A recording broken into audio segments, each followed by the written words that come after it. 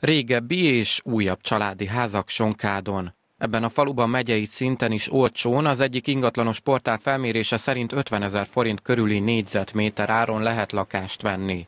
Ugyan a lakásárak évről évre drágulnak Magyarországon, régiónként korán sem ugyanolyan mértékben. A nagyobb városok és a városok agglomerációjában fekvő települések miatt egyre nagyobbak a különbségek az ingatlanok értékeiben. Az ingatlan.com utcaszintű felmérése szerint az országos lakáspiacon százszoros különbség is előfordul a legalacsonyabb és a legmagasabb árak között, a keleti régióban azonban ennél mérsékeltebb a helyzet. Ha egy picit a szabolcs beregi uh, helyzetet veszük gorcső alá, akkor látszik, hogy itt a, a, a különbség szűkebb, hiszen országos országos átlagban a legdrágább és a legolcsóbb utca között majdnem százszoros, vagy kicsit több mint százszoros volt a különbség. Zárójelben megjegyzem, ez 2019-ben még csak 80-szoros különbséget mutatott, tehát nő az olló, addig Szabor-Szatmár-Bereg megyében a legolcsóbb és a legdrágább települések vagy utcák között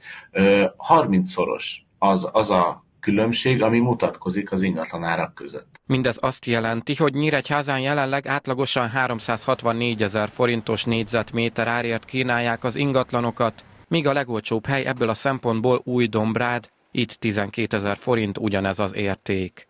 Szintén nagyon alacsony árért kínálták a lakásokat még Mándon és Hermánszegen, a legolcsóbb utcák pedig Szamosszegről, Dögéről, Pusztadobosról és Sonkádról kerültek ki. Ahogy az ingatlan.com grafikonján is látszik, az ár és a kereslet az utóbbi időszakban a nagyvárosok közelében fekvő kis településeken nőtt meg leginkább. A megye legdrágább tíz települése közül négy fekszik közvetlenül Nyíregyháza mellett. Korábban volt egy olyan általános vélekedés az ingatlanpiacon, hogy Budapest a legfelkapottabb hely, itt a legdrágábbak az árak.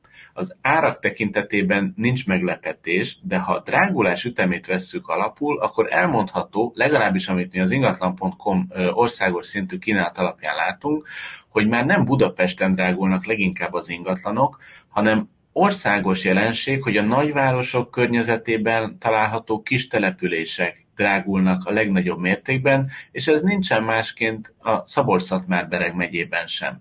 Gyakorlatilag két-háromszoros különbség van a drágulás üteme az egy, egyes nagyvárosok, ahol nagyvárosok ingatlan drágulása és az, azok agglomerációs településének drágulása között. A szakértő hozzátette, amíg például Nyíregyházán 10-12 százalékkal drágulnak az ingatlanok éves szinten, például Nyírpazonyban, Nyírturán vagy Nyírteleken ez a növekedés 20 százalék körüli. Mindez azonban egyelőre nem vetette vissza a vásárlók számát, hiszen ezeken a kisebb településeken idén is jelentősen emelkedett az újonnan beköltözők száma.